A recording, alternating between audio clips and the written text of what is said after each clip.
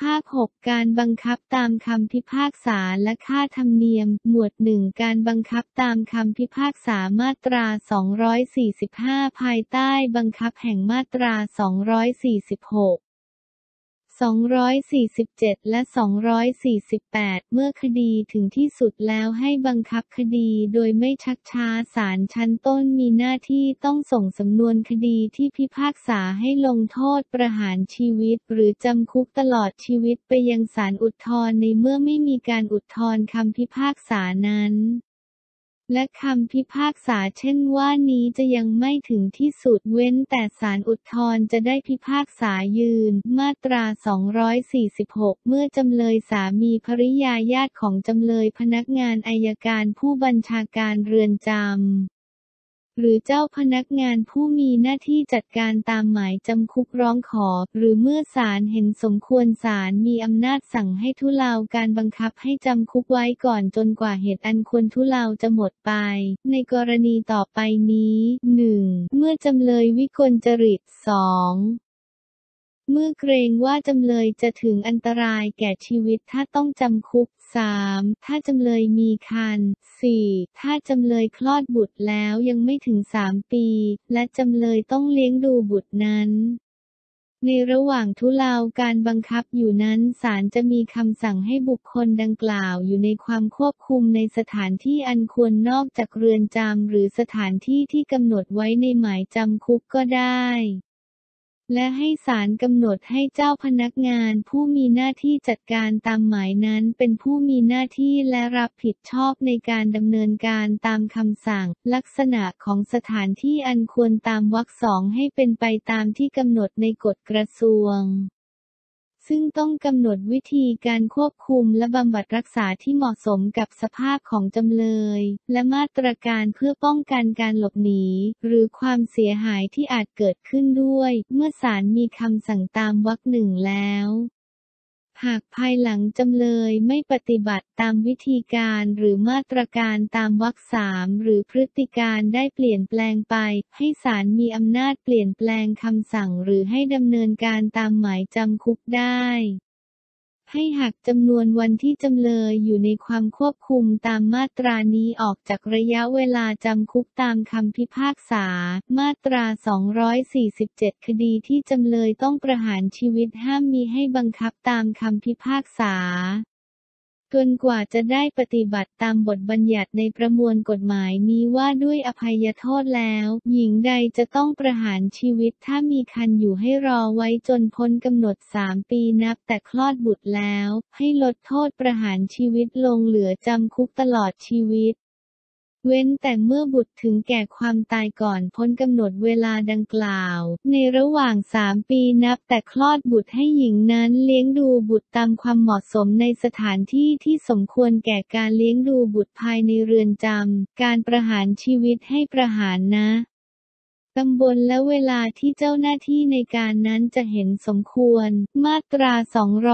248 ถ้าบุคคลซึ่งต้องคำพิพากษาให้ประหารชีวิตเกิดวิกลจริตก่อนถูกประหารชีวิต ให้รอการประหารชีวิตไว้ก่อนจนกว่าผู้นั้นจะหาย ขณะทุเลาการประหารชีวิตอยู่นั้น ศาลมีอำนาจยกมาตรา 46 วรรคสองแห่งกฎหมายลักษณะอาญามาบังคับถ้าผู้วิกลจริตนั้นหายภายหลังปีหนึ่งนับแต่วันคำพิพากษาถึงที่สุดให้ลดโทษประหารชีวิตลงเหลือจำคุกตลอดชีวิตมาตรา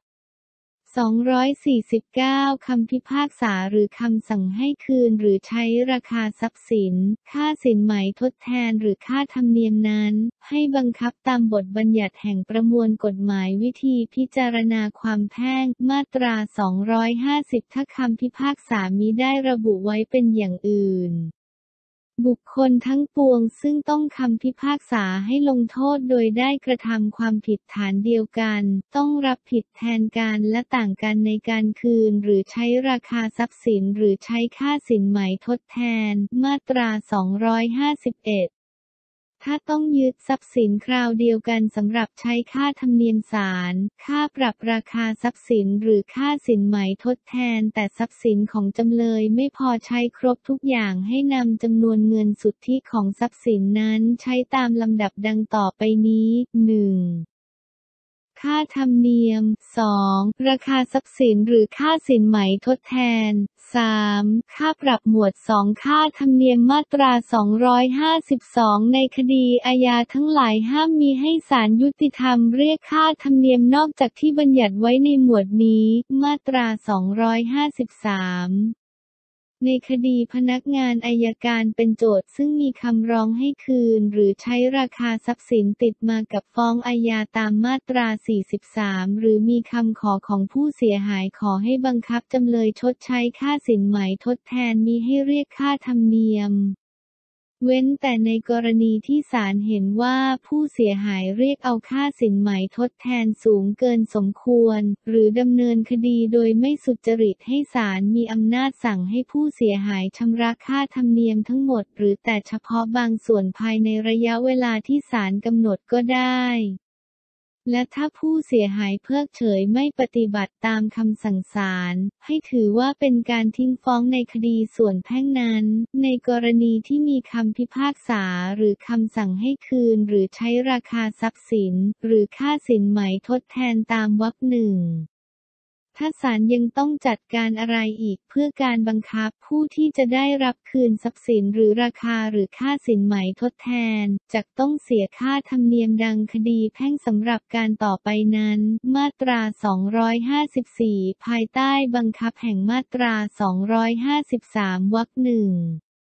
ในคดีที่ผู้เสียหายเรียกร้องให้คืนหรือใช้ราคาทรัพย์สิน หรือใช้ค่าสินไหมทดแทน ซึ่งติดมากับฟ้องคดีอาญา หรือที่ฟ้องเป็นคดีแพ่งโดยลำพัง ให้เรียกค่าธรรมเนียมดังคดีแพ่ง คดีในส่วนแพ่งตามวรรคหนึ่ง